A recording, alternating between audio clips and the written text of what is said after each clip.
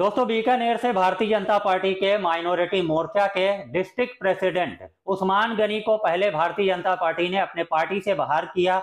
उसके बाद अब ये खबर सामने आ रही है कि इनको पुलिस ने, बीकानेर पुलिस ने गिरफ़्तार कर लिया है। इनको क्यों गिरफ़्तार किया गया और पार्टी से क्यों बाहर किया गया, ये मैं आपको बताने वाला हूँ।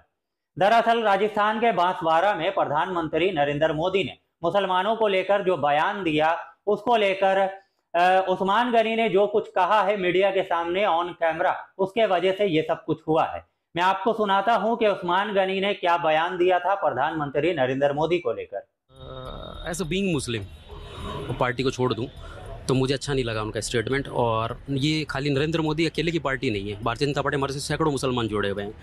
तो जब हम जनता में वोट लेने जाते हैं, मुस्लिम मुस्लिम से मांगते हैं तो हमें भी तकलीफ़ होती है, मुसलमान पूछता है हमारे से। प्रधानमंत्री नरेंद्र मोदी ने राजस्थान के बांसवाड़ा में मुसलमानों को लेकर जो बयान दिया था, उसके बाद उस्मान गनी ने एक मीडिया चैनल से बात करते हुए प्रधानमंत्री नरेंद्र मोदी के उस बयान की आलोचना की। उसके बाद खबर ये सामने आती है, इनको पार्टी से निकाल दिया गया और उसके बाद अब ये खबर सामने आती है कि इनको बीकानेर पुलिस ने गिरफ़्तार कर लिया है। हिंदुस्तान टाइम्स ने क्या लिखा है? इस खबर को छापते हुए वो आपके स्क्रीन पर लिखा गया है इंडियन एक्सप्रेस के रिपोर्ट के अनुसार।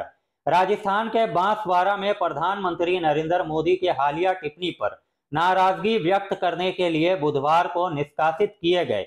बीकानेर भारतीय जनता पार्टी अल्पसंख्यक मोर्चा के जिला अध्यक्ष उस्मान गनी को शनिवार को पुलिस ने हिरासत में ले लिया है। तो ये खबर सामने आती है जब उस्मान गनी ने मीडिया से बात करते हुए प्रधानमंत्री नरेंद्र मोदी के उस बयान को लेकर आलोचना की और उसके बाद साथ साथ ये खबर सामने आती है कि उनको पार्टी से बाहर किया गया और अब ये खबर सामने आई है कि उनको हिरासत में ले लिया गया है, यानी कि गिरफ़्तार कर लिया गया है।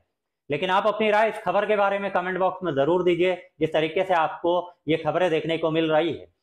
कमेंट बॉक्स में ज़रूर लिखिए। मिलते हैं आपसे अगले वीडियो में।